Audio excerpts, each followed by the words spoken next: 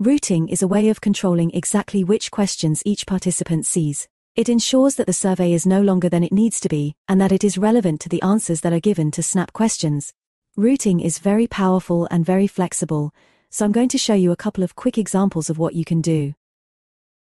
So, in this first example, at the moment, there is only one question. And if I say no to that question, routing causes a message to come up thanking me for my time. But that's as long as the survey would be. However, if I say yes, I will in turn start to see more questions appear. So here I have, which forms of transport do I use to get to work? I'm going to say I use a cycle, car and underground. And for each of those three forms of transport, routing has then caused an additional question to appear asking how frequently I travel. For each of those methods, I can answer that using the slider control, just here.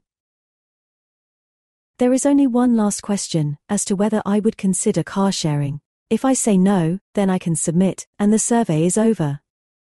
But if I say yes, I'll get a further question through which I can leave my details to share with other drivers locally. Routing rules can also be based on the results of in-survey calculations, which I'm going to show you in my second example. In-survey calculations work behind the scenes as the survey has been completed, to recategorize or to transform the answer data. The result of that calculation can inform routing. I have an example here whereby any groups in excess of 10 will be offered a discount on their next visit. So here I have a group size of 15. And there's the offer of the discount for next time. The in-survey calculation has added together the answer to these two questions determined that the total group size is 15.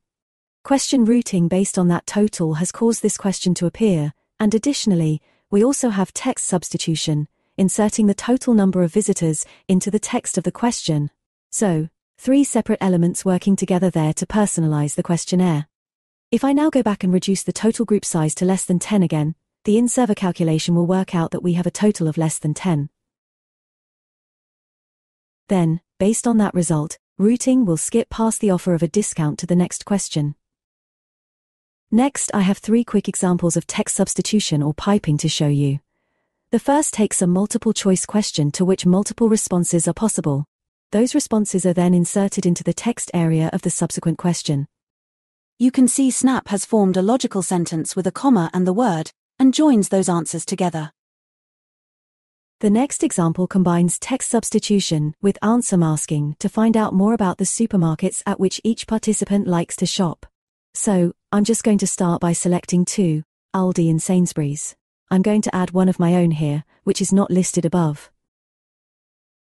I can then choose others, which perhaps I haven't shopped at, but I may have heard of, and the next question combined the answers I've given along with the open answer I gave of Ocado. And you can see also that the format has been changed to sentence case to suit the context in which we see it. In the last example, I'm using text substitution with a database link, and that database link brings in information from my database into either hidden or visible questions. So here I have the information inserted into some open-ended questions for the respondent to correct if necessary. But I've also used text substitution to bring that personal information into the text of the questionnaire. We're greeting by name, and we also have the date of the repair visible in the text of the introduction. And then I'm also using text substitution on the second page in a more conventional way. If the respondent selects that they are very dissatisfied with the overall quality of work, a question will be routed to appear, and that will include the answer they gave. And again, the text of the answer is changed to the appropriate case, so it's more suitable for the context in which it's seen. Thank you for watching this short video.